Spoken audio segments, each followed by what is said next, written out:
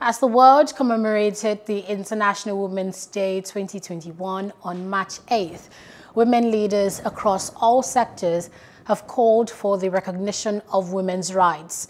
The women leaders, with representation from the government, civil society organizations, international non-governmental organizations, among others, made the charge during an interactive session between the Joint United Nations Programme on HIV and AIDS, UNAIDS and women leaders in Nigeria. Among other things, they are calling for a change in the approach towards female-focused challenges. Nigeria is such a large country with so much, and yet, because of the absence of women in decision making, millions of Nigerians are suffering for no cause. We cannot raise on our oars we cannot give up. We will continue to challenge.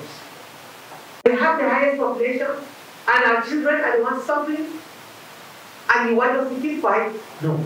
808 women die every day giving birth due to some pregnancy or childbirth related issue.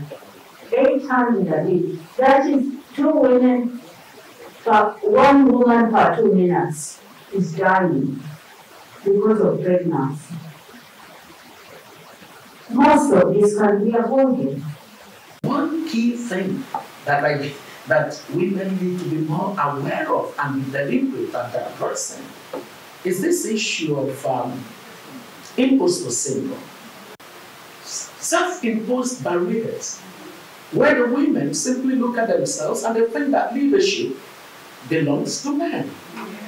Nothing happens that's not meant to happen. We want to get women in political representation, then you've got to make it happen. They, however, called for government at all levels to be held to account in carrying out its constitutional function of serving the people. We need to continue to hold our federal government accountable and our state government accountable on the issue of political will.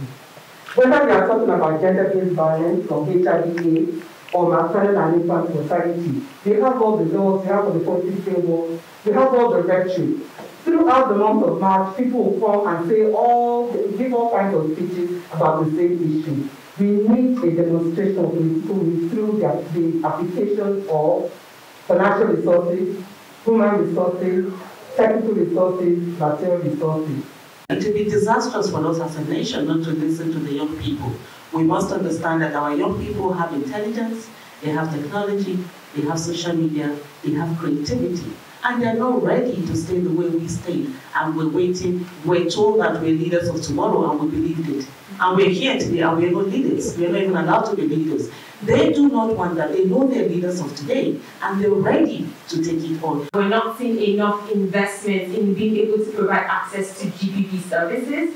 We're not, we're not investing in what works in terms of prevention. Right now, when we talk about GBV prevention in Nigeria, we're talking about community sensitization. We're talking about really basic things, but what works in terms of prevention for us to be able to do at the scale because right now our response system is not strong enough to be able to respond to that. I think one of the things we need to engage with, and, and it's happening already, but we need it um, for everyone in this room, is the constitutional review. And I think we all really need to engage with that process, and more needs to be done to, to you know, to get the general public involved to be able to hold accountable. Hello. Hope you enjoyed the news. Please do subscribe to our YouTube channel and don't forget to hit the notification button so you get notified about fresh news updates.